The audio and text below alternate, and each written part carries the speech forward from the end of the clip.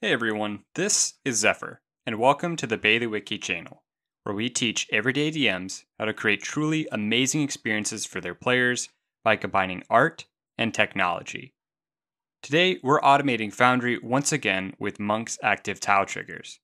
This time, we're also going to make use of one of our favorite animation and ambiance modules, FX Master, to create clickable weather toggles and changes for our scenes to instantly transform our ambiance and atmosphere in our games. Let's dive right in, first with FX Master. Using our effects controls, we can configure different weather options with a variety of customizations beyond just the filters that we're using. Each control has direction, speed, lifetime, density, and tinting, all to customize the look of your weather effects and scene.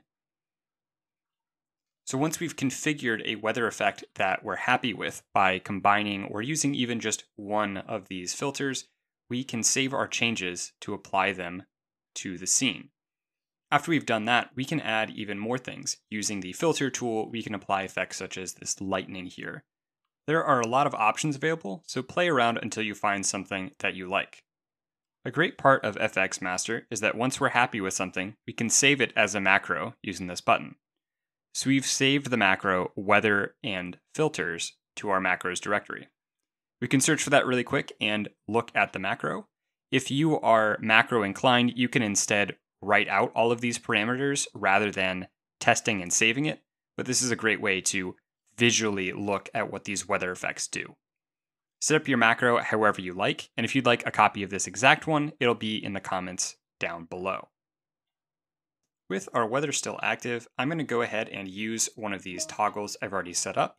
It's going to remove our filters and we can see the weather slowly start to change from that faster, darker clouds into a more sunny day.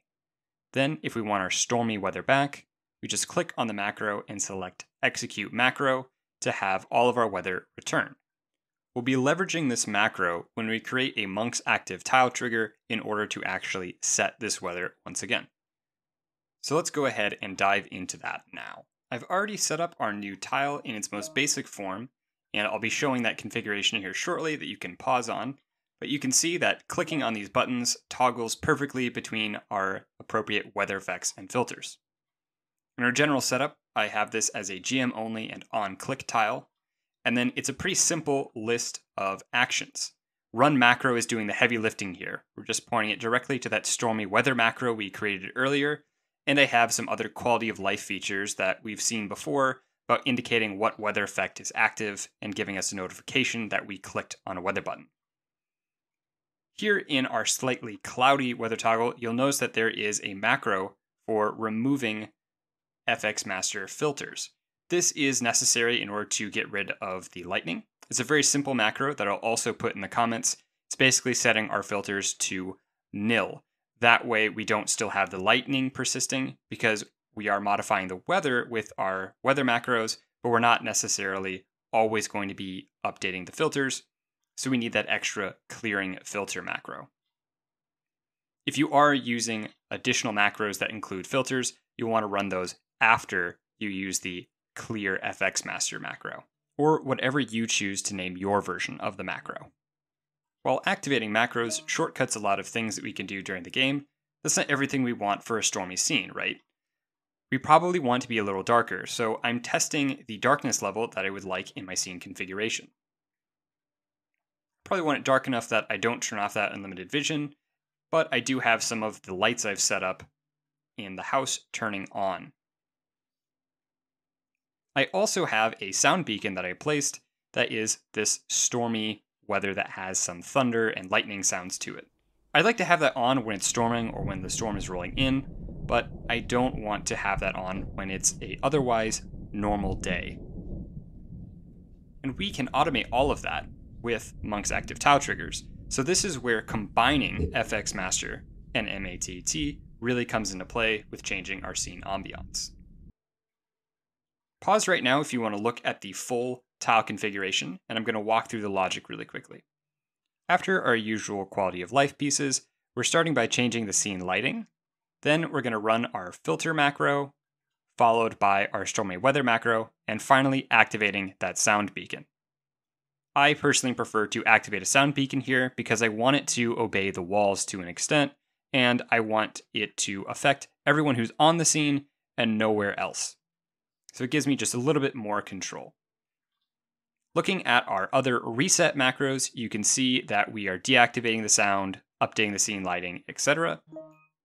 And you can change the order at which you have some of those effects take place if it seems to make more sense to you to turn off the sound first or change the lights first. And obviously, we can add additional delays if we want to have some specific functions on when these things happen, if that's important to us. But if we're mostly using this for prep sessions, that is unnecessary.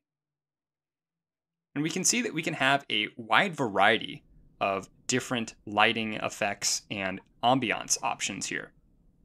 This allows us to quickly cycle through some different pre-configurations that we want.